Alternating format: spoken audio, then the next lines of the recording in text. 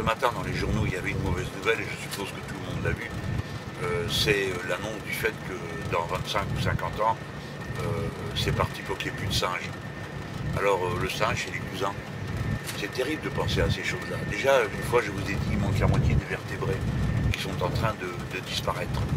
Et il faut dire que je n'ai pas un moral fameux sur le sujet parce que à Noël, j'ai lu le livre de Madame Colbert qui s'appelle La sixième extinction et qui parle justement de ce processus d'extinction des espèces en fonction euh, du changement climatique et d'autres paramètres. Quel autre paramètre Justement, l'activité humaine? C'est l'activité humaine.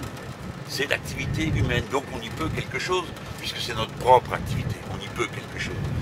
Et justement, ça se trouve qu'en décembre dernier, la Société géologique internationale, je crois que ça s'appelle comme ça, euh, a décidé, euh, est tombé d'accord après une discussion qui a duré un bon moment, euh, pour appeler la période dans laquelle nous vivons l'Anthropocène, c'est-à-dire la période de l'histoire de la planète où les hommes, les êtres humains, plus exactement, euh, perturbent euh, la vie de la planète au point de changer sa géologie. Alors eux, ils ne sont pas dans le, les grands raisonnements abstraits, ils sont dans une chose très concrète.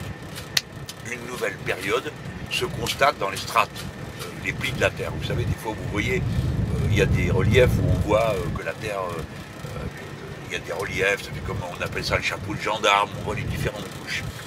Et les différentes couches historiques, on les voit toutes. Et celle-ci, on la verra. Elle ne sera pas grosse. Hein. Dans 10 000 ans, euh, la période que nous vivons actuellement, ça sera dans la Terre gros comme une feuille de papier à cigarette.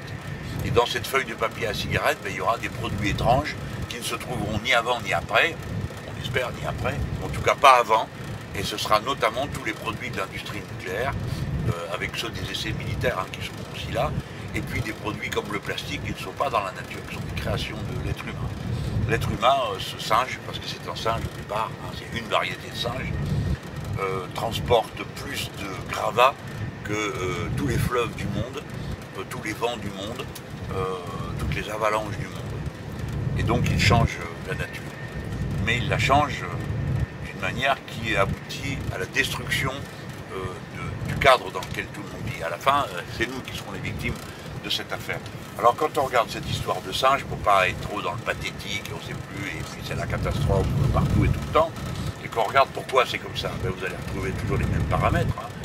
On enlève les forêts pour prendre le bois, mais surtout pour en faire des prairies, et puis dans les prairies, on y met de l'élevage, parce qu'il y a un mode euh, d'organisation de la société qui repose sur euh, l'assimilation de protéines carnées dont vous avez besoin. Hein.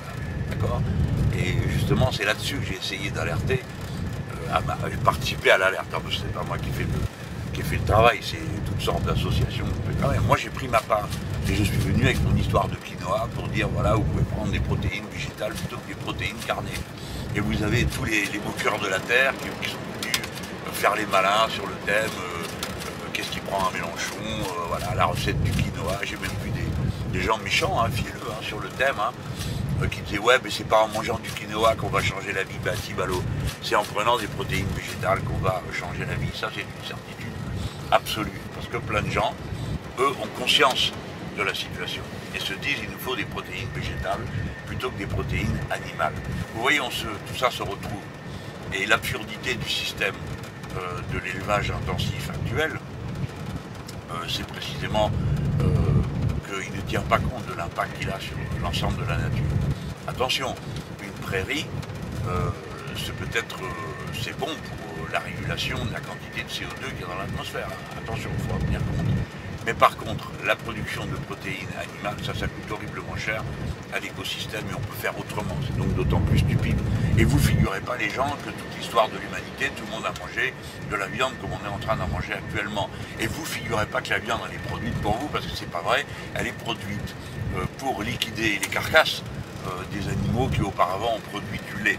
Donc ce que vous mangez, c'est en sous-produit du lait. Et le lait, il est produit comme une marchandise comme vous le savez, et à la fin, ça se termine par des choses comme les fermes des mille vaches, où on met là euh, ces pauvres animaux qui ne voient jamais euh, l'air à l'extérieur, hein, qui ne voient jamais un pâturage, et qu'on a mis là en tas, qui produisent une quantité de méthane par leur paix et leur eau, et on recycle ça pour en faire du gaz qu'on vend. On les bourre d'antibiotiques et de toutes sortes de produits, parce que comme ils sont confinés, ben, ils tombent plus facilement malades. Et vous, après, vous buvez ce lait, vous mangez cette viande qui est le, le résultat de cette façon d'organiser l'élevage est une catastrophe et il faut que ça cesse.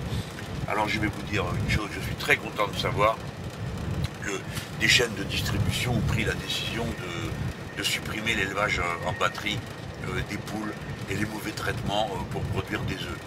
Alors je sais qu'il y a des gens qui râlent, mais pas moi. Et si j'en ai la possibilité, ben, il y a bien des élevages en batterie qu'on va interdire. Hein. Parce que pour l'instant, on est sensible aux Mais si vous vous intéressiez à ce qui se passe avec les lapins, vous ne dormez plus. Et si vous regardiez ce qui est en train de se passer avec les cochons, euh, c'est de même. Alors on peut se dire, tiens, pourquoi un homme politique se met à parler des cochons, des poules, etc. Mais parce que c'est la vie. C'est quoi d'autre la vie si ce n'est pas les êtres vivants? Qu'est-ce que c'est d'autre? Les comptes, euh, le fric, hein, c'est ça le, Qu'est-ce qu'il faut faire chaque année? Admirer la beauté du monde qui nous entoure, ou bien la prouesse euh, de ces voyous qui arrivent à accumuler de l'argent au point qu'il n'y en a plus que 8, qui possèdent autant que la moitié de toute l'humanité. C'est ça la leçon. En ce moment, le monde est plein de leçons de philosophie. Et les gens qui s'intéressent à l'existence, ils doivent se mêler de ces questions-là. Et on a une élection présidentielle, ben, c'est justement l'occasion de se demander si on ne peut pas changer tout ça une bonne fois. Et moi, je suis disponible pour le faire.